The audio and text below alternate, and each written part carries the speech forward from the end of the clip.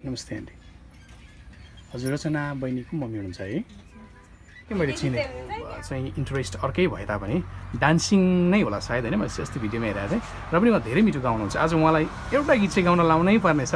उहाँ अलिक बोल्न मानिरहनु भएको थिएन तर मैले मलाई फकाएर बोलिदिनुहोस् न भनेर भने छ। सातवटा भइसक्यो है? हजुर।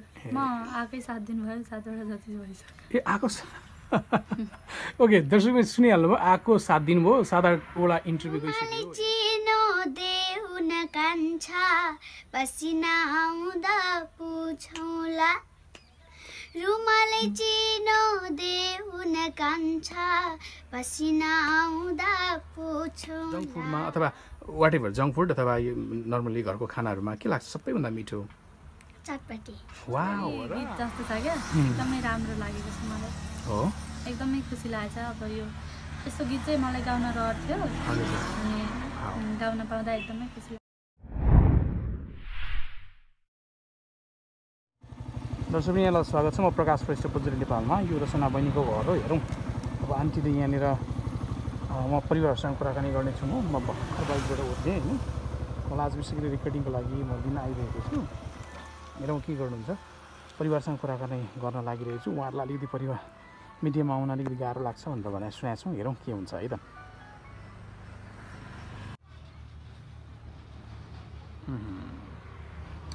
अत्यन्तै राम्रो फुल अगाडि मैले देखिरहेको छु अनि सयपत्री फुलहरू फुलिरहेका छन्। बहिनी रचनाको घर अगाडि। She must have invested her time her family चटपटे पसल बन्द भएको छ। कारण उनी अहिले सिलिङ क्षेत्रमा लागिसकेका छिन्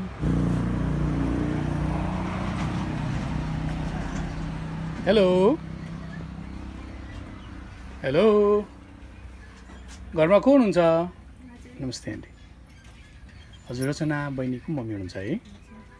ए म प्रकाश श्रेष्ठ। आज बहिनीको रेकर्डिङ छ। अनि मलाई त्यो लानु भनेर आएको होइन? अनि मम्मीहरूले भिडियो गर्न त मान्नु हुँदैन भनेर भनिरहनु भएको छ। भन्दै हुन्थ्यो अघि उहाँले र पनि यसो एउटा गरौँ कि भनेर। बहिनी घरमा हुनुहुन्न होला सायद है? घरमै हुनुहुन्छ? टिकट काट्न कति जान्छु भन्दै हुन्थ्यो। ए ल। तपाईँको घर ठ्याक्कै मैले चिनेँ। दर्शकलाई स्वागत छ म प्रकाश श्रेष्ठ अनि यहाँ तपाईँले फ्रेममा देखिसक्नु भएको छ। हाम्रो रचना रिमाल बहिनी अहिलेको समयको अत्यन्तै चर्चित गायिका हुनुहुन्छ। लाखौँ लाख दर्शकबिनहरूले उहाँलाई हेरिसक्नु भएको छ। अनि उहाँ हुनुहुन्छ रचना रिमाल बहिनीका कान्छी बहिनी हुनुहुन्छ साह्रै प्यारी हुनुहुन्छ। उहाँले पनि दिदीलाई विशेष गरी उहाँको चाहिँ इन्ट्रेस्ट अर्कै भए तापनि डान्सिङ नै होला सायद होइन? मैले अस्ति भिडियोमा हेरेको थिएँ। र पनि उहाँ धेरै मिठो गाउनुहुन्छ। आज उहाँलाई एउटा गीत चाहिँ गाउन लाउनै पर्नेछ। उहाँ अलिक बोल्न मानिरहनु भएको थिएन तर मैले मलाई फकाएर बोलिदिनुहोस् न भनेर भनेको छु। स्वागत छ दुवैजनालाई। थ्याङ्क यू इन्टरभ्यू धेरै हुन्छ है तपाईँहरूको? हुन्छ। यो तपाईँ यता उता कतिवटा इन्टरभ्यू दिइसक्नुभयो? यहाँनिर? हजुर। उम्, अनकाउन्टेबल होइन। छ सातवटा भइसक्यो है? हजुर।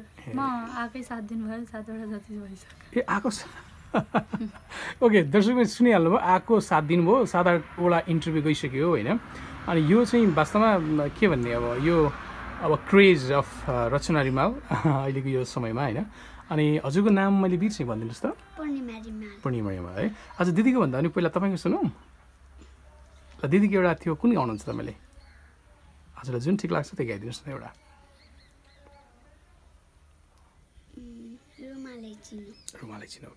रुमालै देउन कान्छा पसिना आउँदा पुछौला। चिनो देउन कान्छा पसिना आउँदा पुछौला तस्बिर खिची पठाउन कान्छा सम्झना आउँदा हेरौँला तस्बिर खिची पठाउन कान्छा सम्झना आउँदा यू ए वेलकम धेरै मिठो गाउनुहुँदो रहेछ। अन्त मलाई स्कुलमा पनि दुःख दिँदा रहेछन् होइन? शिक्षक शिक्षिकाहरूले। अनि हजुर नाच्नु पनि हुन्छ। किनभने हजुरको त्यो फेसियल एक्सप्रेसनले मलाई के भनिरहेको छ भने अनि सी डान्स भेरी वेल भनिरहेको छ। हजुर निकै राम्रो नाच्नु रहेछ है। मैले तपाईँको फेसियल एक्सप्रेसन छ नि गीत गाउँदाखेरि अत्यन्तै राम्रो दिनुभयो। हजुर जानुहोला। डान्सिङ डान्सिङ कम्पिटिसनहरूमा जानुहोला। धेरै राम्रो नाच्नु होला हजुरको नाच्ने हबी हो नि है। ओके अब दिदीको विषयमा एउटा सानो कुरा भनिदिनुहोस्। नडाडी भन्नु ल हुन्छ। नडाडी भन्नुपर्छ। पब्लिक फिगर हो नि त दिदी त सबैले हेर्नुहुन्छ। मलाई नेपालका सारा जनताले हेर्नुहुन्छ दर्शकबिनहरूले हेर्नुहुन्छ तपाईँहरू जस्तो सानो सानो नानीहरूले पनि हेर्नुहुन्छ। अनि दिदीलाई सबैभन्दा मिठो के लाग्छ? जङ्क फुडमा अथवा वाट एभर जङ्क फुड अथवा यो नर्मली घरको खानाहरूमा के लाग्छ सबैभन्दा मिठो? चटपटी। वा हो र। त्यही भएर चटपटी बनाउनु भएको दिदीले है। ओके भनेपछि चटपटी चाहिँ मलाई बेस्ट एन्ड बेस्ट है। अनि जस्तो खानाहरू सब्जीहरूमा के मिठो लाग्छ मलाई? थाहा छैन। ला दिदीले हजुर वास्ता गर्नुहुन्न कि क्या हो? वास्ता गर्ने मान्छेको सबै कुरा थाहा हुन्छ नि। सोच्नुहोस् त के जस्तो लाग्छ?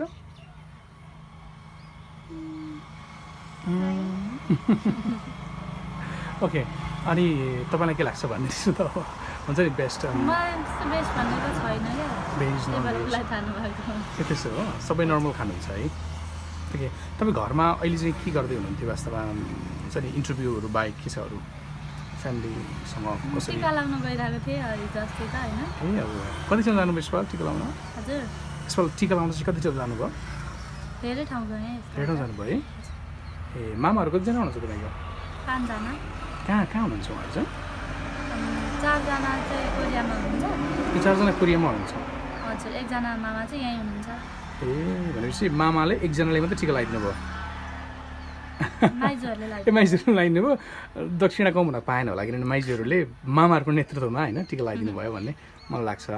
अनि के छ अरू जस्तो? तपाईँले जम्मा गीत कतिवटा गाइदिनु भयो भनिदिनुहोस् त जम्मा गीतहरू अहिलेसम्म नेपाल आइडल पछाडि पचास साठीवटा गएँ। पचास साठीवटा गाइसक्नु भयो है। विच इज द बेस्ट तपाईँको थट तपाईँको साइडमा लाग्छ लाग्नु त। हुन्छ नि आई गेभ रियली गुड भन्ने चाहिँ कुन लाग्छ अलिकति? फोटो मनपर्छ। त्यो त सबैलाई मनपर्छ? त्यो एकदम मनपर्छ मलाई। सबै मनपर्छ। है हजुर। हजुरलाई कुन मनपर्छ? मनपर्छ दिदीको? मलाई? मलाई अच्छा अनि? फोटो फिटिङमा है। बाबा चाहिँ अहिले घरमा हुनुहुन्न। ठिक छ। अहिले हामीसँग यहाँ दुईजना दिदीबहिनी हुनुहुन्छ रोसना बहिनी र सानी नानी हुनुहुन्छ कान्छी नानी तर साह्रै मायालु हुनुहुन्छ एकदम प्यारी नानी। ओके तपाईँको घर वरिपरि हामी देखिरहेको छौँ धानहरू लडिरहेको छ। त्यस्तो कामहरू चाहिँ गर्नुहुन्छ न तपाईँ? गर्छु गर्न त तर यो खेत चाहिँ मास्ता घरको हो। ए। अनि हिजो मेसिनले काट्नु भएको थियो यो धान चाहिँ। एकछिनमा हुँदो रहेछ। एकदम हाइटेक छ नि है अहिले त। सबै मेसिनले सानो खालको रहेछ क्या त्यो चाहिँ। सरर लाँदै जाँदा सबै काटिदिँदो रहेछ कस्तो मजाले ए ओके ओके भनेपछि धानहरू काट्नु चाहिँ हुन्छ तपाईँ कहिलेकाहीँ हजुर काट्थेँ पहिला पनि यसपाल यसपालि त छैन पाकेकै छैन हाम्रो त ए पाएकै छैन छुट भयो यसपाल हजुर काठमाडौँ जाँदै हुन्छ होला सायद चाँडै होइन कहिले जाँदै हुन्छ भोलि पर्सि जाँदै हुन्छ है।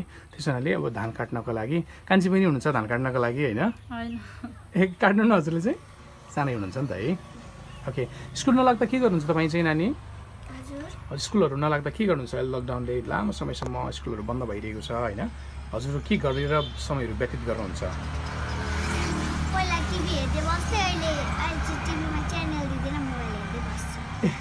टिभीमा चाहिँ किन च्यानल दिँदैन अहिले खै ए काटेको छ हो र नेपाली च्यानल आउँछ।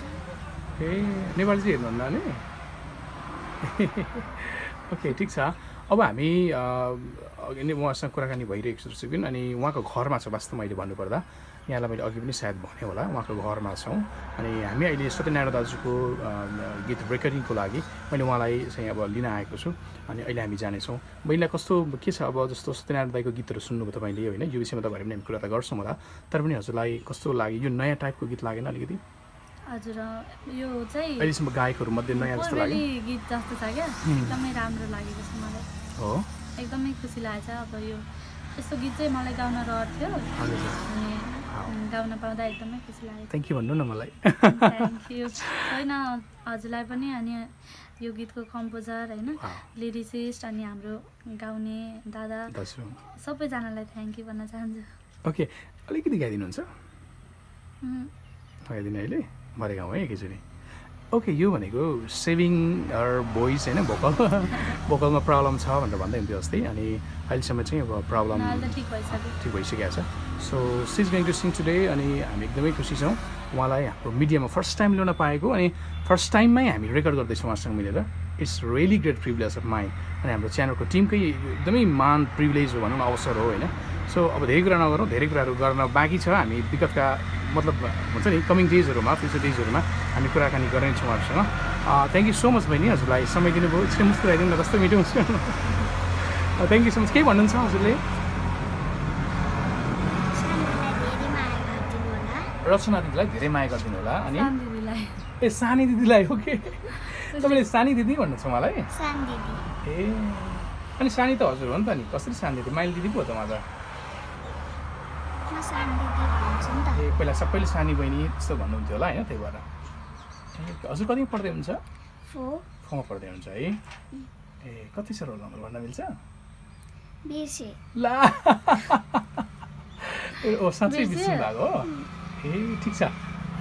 पढेको कुरा चाहिँ नबिर्सिनु होला। ओके ल। थ्याङ्क यू सो मच समय दिनुभयो। हजुरलाई ईश्वरले धेरै आशिष दिउन् अगाडि बढ्नु होला पढाइमा। अनि I want to see you as a superstar dancer नेपालमा है त ल सुपरस्टार डान्सर फिल्डमा म हेर्न चाहन्छु। थ्याङ्क यू सो मच हजुरलाई पनि। ओके उहाँको घरमा छ दर्शक पनि अब हामी उहाँसँग धेरै कुरा गर्न छ। अहिलेलाई यति नै गरौँ। अनि ओके त्यति नै। Thank you so much really वा होइन? ल बुढीहरू हेर्नुहोस् यो अत्यन्तै मेहनती परिवारको बुढी बुढी रहेछ किनभने यो धेरै फलेको छ। सायद बेच्न सक्ने गरेको फलिरहेको छ जस्तो मलाई लागिरहेको छ होइन? ओके च- चटपटे बेच्ने चटपटे वाली भनेर पनि पहिला त चिन्थ्यो अहिले त यहाँनिर तपाईँको लोकेसन हेर्दा पनि हामीले रचना बहिनी भनेपछि सबैले तपाईँको चाराले देखिउँ त सबैले हामीलाई ठ्याक ठ्याक ठ्याक अथवा त्यो लोकेसन हामीले डिरेक्सन दिनुभयो। अनि त्यस कारणले गर्दाखेरि यो अहिले बन्द भएको छ। उहाँ सिङ्गिङ त्यो सिङ्गिङ लाइनमा धेरै अगाडि बढिसक्नु भएको कारणले गर्दाखेरि अहिले सायद बहिनीले भनेअनुसार अहिले भाँडामा छ होइन बहिनी? भाँडामा छ ओके भाँडामा दिइसक्नु भएको छ अरूलाई